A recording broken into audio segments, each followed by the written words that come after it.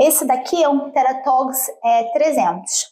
A Laura tem 8 anos, 1,40m e ela ainda está no tamanho 300. Olha, o mais importante do tamanho 300 é a gente estar, tá, o do Teratogs, a gente está vendo se esse, essa abertura do bumbum tá certa e se na lateral a gente está pegando bem o, a lateral de quadril, tá? Então, para lá a gente pega e bota aqui ó, o velcro na pontinha. Isso. A gente pega, dá uma baixadinha aqui e fechei o Teratogs na Laura.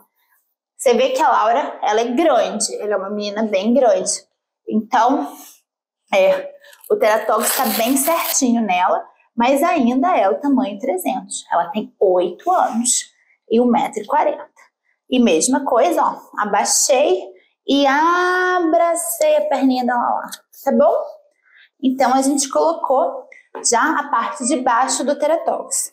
Agora, nós vamos botar a blusa do Teratox. Eu aconselho que vocês primeiro coloquem aqui, ó, um e outro. Porque aí eu venho, simplesmente faço aqui, aí eu prendo, levanto, prendo aqui em cima, prendi aqui, ó, prendi no ombro, não precisa estar perfeito ainda. O que, que eu vou fazer agora? Prender perfeitamente alinhado no centro da barriguinha da Lala, aqui. E atrás, da mesma forma, vou prender alinhadinho aqui no cox da Lala.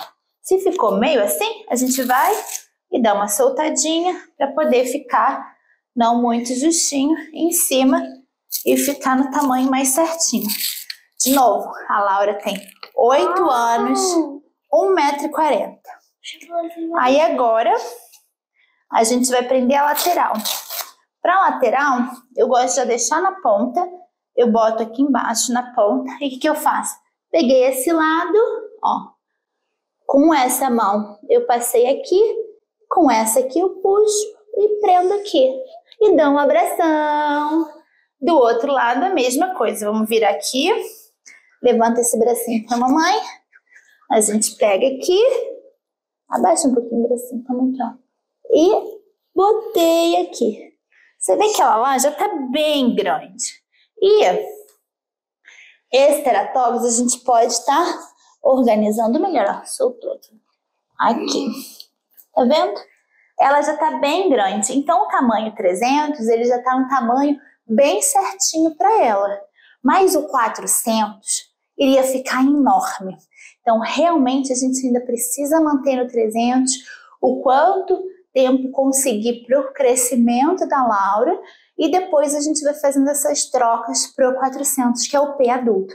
Lembrando que o P adulto cabe ainda numa mulher de 1,60m. Então a Laurinha ainda está no tamanho 300. Então essa é a colocação do Teratox e existem inúmeros outros vídeos que você pode estar vendo essa colocação do Teratox.